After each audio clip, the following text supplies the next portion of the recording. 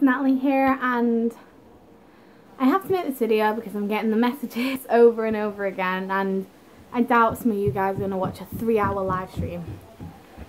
So I thought I'd make it quick and snappy. Basically guys, a lot of you have been asking me, Natalie where are you, where's your old channel? Um, and I showed you a video of the person basically cyberbullying me and harassing me. And um, she was the one that took my channel down for under not fair use. I've spoken to YouTube and I've spoken to a few people about this right now and hopefully my channel will be coming back but until then this one's going to be my main channel just for now so feel free to spread the news that this is my channel for now. I'm going to re-upload everything either today or tomorrow.